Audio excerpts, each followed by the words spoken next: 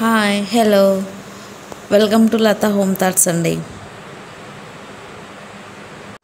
ఈ వీడియో మీకు నచ్చినట్టయితే నా ఛానల్ని సబ్స్క్రైబ్ చేయండి. పక్కన బెల్ ఐకాన్ ఉంటుంది. దాన్ని ట్యాప్ చేయండి. అలానే నా ఛానల్ని లైక్ చేయండి.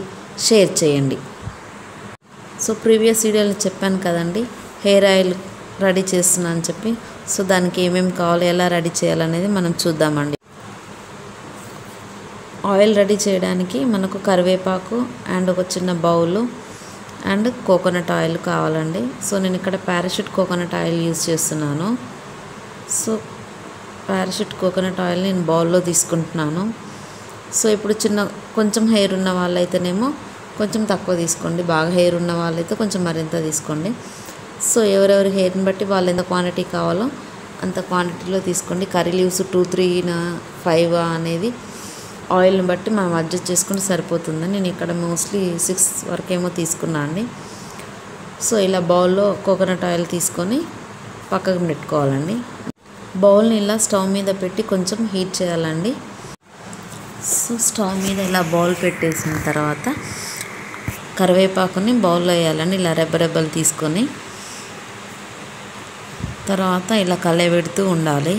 కొంచెం దూరంగా ఉండండి. అది చిట్లుతుంది మీద పడుతుంది. సో జాగ్రత్తగా వేడి చేసుకోండి. ఆయిల్ ఇలా మరుగుతూ ఉంటుంది. ఆయిల్లో కరివేపాకు అనేది మనం అప్పుడప్పుడు దాన్ని టచ్ చేస్తూ కరివేపాకు మొత్తం బాగా దాని రసం మొత్తం ఆయిల్ పీల్చుకునేలాగా మనం హీట్ చేసుకోవాలండి.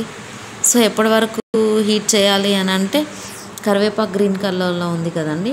కరివేపాకు మొత్తం మనకు నల్లగా వచ్చే వరకు కరివేపాకు కలర్ మొత్తం బ్లాక్ అయ్యే వరకు మనము ఉంచుకున్నాం అనుకోండి అప్పుడు కరివేపాకులో ఉన్న రసం మొత్తం ఆయిల్ అనేది పీల్చేసుకుంటుంది సో నెక్స్ట్ మనం దాన్ని స్ట్రైనర్తో కానీ క్లాత్తో కానీ కొంచెం కూల్ అయిన తర్వాత వడగట్టి అప్పుడు యూజ్ చేసుకోవాలండి.